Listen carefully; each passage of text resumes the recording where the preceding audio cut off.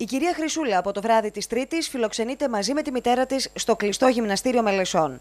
Χρειάστηκε να περάσει 1,5 ολόκληρο 24ωρο, να ζήσει και τον σεισμό των 5,8 ρίχτερ και τον σεισμό των 5,3 ρίχτερ μέσα στο ερυπωμένο σπίτι της για να καταφέρει να βρει τρόπο να τη βγάλει και να τη μετακινήσει σε ένα σημείο που θα ήταν ασφαλής και δεν θα κινδύνευε περαιτέρω η υγεία της. Στη σκηνή να πάω, δεν είχα mm. κάποιο συγκεκριμένο μέρος για να την πάω να τη μεταφέρω.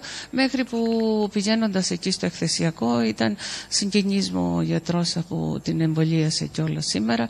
Και μαζί κινητοποιηθήκαμε, βρήκαμε κάποιο τρόπο να έρθουμε εδώ σε αυτή τη δομή που.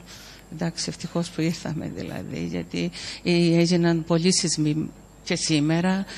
Η 93χρονη κατάκητη γυναίκα δεν γνωρίζει κανείς αν ένιωσε την απειλή του σεισμού. Η κόρη της σε μια σκηνή έξω από το σπίτι τους στο Αρκαλοχώρι αναζητούσε τρόπο για να την προστατεύσει. Η κατάστασή της δεν επέτρεπε να βρεθεί στις σκηνές που έχουν στηθεί στο Αρκαλοχώρι.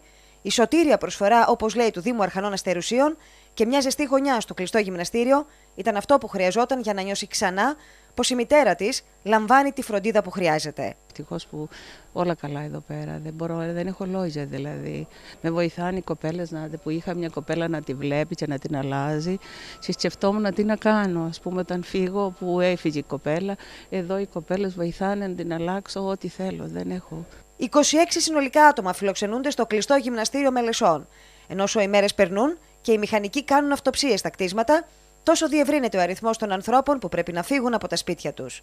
Άμεσα, εκτός από τις μελέσσε, προωθείται η δημιουργία νέας δομής στο Αλάγνη. Ο οικισμός θα είναι εδώ σε ένα όμορο χωριό, είναι το Αλάγνη. Είμαστε έτοιμοι ε, να το λειτουργήσουμε. Ε, και βοηθάμε και κόσμο από όμορους Δήμους, όπως είναι ο Τρακαλοχώρη, κάποιες ηλικιωμένε ε, κυρίες. Στο κλειστό γυμναστήριο των Μελισσών, μάλιστα χθες, βρέθηκε γιατρός για να εμβολιάσει ηλικιωμένη που δεν είχε εμβολιαστεί. Είμαι εδώ γιατί χρειάστηκε να εμβολιάσω με την γιαγιά για τον κορονοϊό. Δεν είχε εμβολιαστεί ακόμα και έπρεπε για τη δική της προστασία και την προστασία εδώ της δομής να εμβολιαστεί και αυτό έγινε. Πέρα από τις παροχές της αυτοδιοίκησης, συγκινητική είναι και η προσφορά από ιδιώτες που δεν άφησαν λεπτό τους πληγέντες να νιώσουν μόνοι. Από την πρώτη στιγμή, χωρίς να σκεφτείς το παραμικρό, όταν βλέπεις αυτό το πράγμα να γίνεται στον κόσμο, και ένα απλό άγγιγμα στην πλάτη είναι μια υποστήριξη. Αυτό το λιγότερο να δώσουμε πράγματα για να φάει κάποιος